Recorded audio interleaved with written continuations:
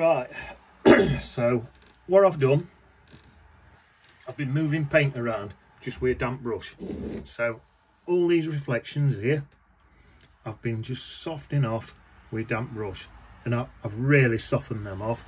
Reflections are softer than what's above. Distant stuff I've softened off more than the closer stuff. And I'll just show you again how I've done it. So let's take this here. This to me don't look very realistic. If you like that look, keep it. This is just how I do it. You, everyone's going to have their own style. Nothing wrong with it now, like that, but I like to get more realism by doing this, softening edges. I think it just looks better to me. Like I say, it's your painting. You you'll have your you'll develop your own style as you practice.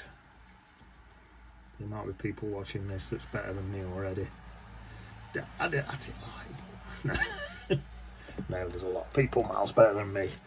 Don't worry about that. See already, look, it's looking a bit more realistic. If you get carried away and find you've took too much out, it's easy, just put a bit back in.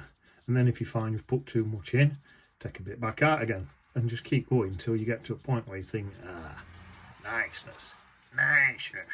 And you, then you know you're sorted.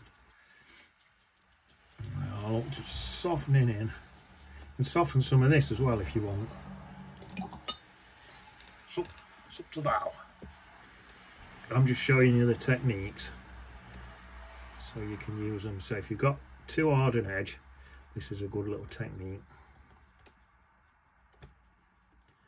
and like I've done that all this bit here look this bit here. These bit that bit I haven't done yet but I'll be doing it. Mm, so I mean it's starting to look better. And I'll keep going. I'll, I'll take a bit out I might let that dry put a few dots back in let that dry and then soften them dots back in again and just keep going. Like I say I think I said earlier this is more of a studio type painting. If you're out in countryside, you won't mess about like this. You'd just whack it in, you'd be done. You could bring it home. You could whack it in, bring it home and then do this to it if you wanted. Some people can't be bothered to mess about like this. You just want a pure, fast, loose painting and leave it. there's no wrong with that either. Just I quite enjoy pushing paint around and just sitting back and having a look, quite enjoy it. So it's what you enjoy. That's what it's all about, isn't it? It's an hobby, isn't it? unless you're a professional, then it's about selling stuff. If you're a professional, it's about what sells, isn't it? It doesn't matter if you enjoy it, you've got to sell it. I don't know what sells. Don't, don't sell them. Stick them on the wall. Dee dee dee dee dee. Dee dee dee dee dee. Dee dee dee dee dee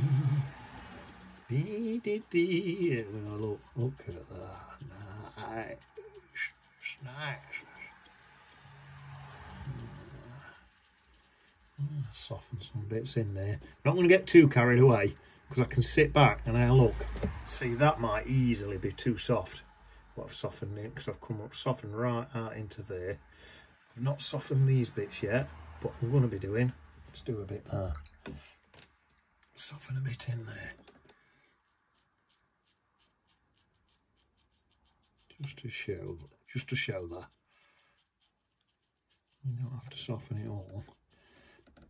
This bit here, all these trees here, will be softer than these here. So these are closer, so you see more leaves. That's pro.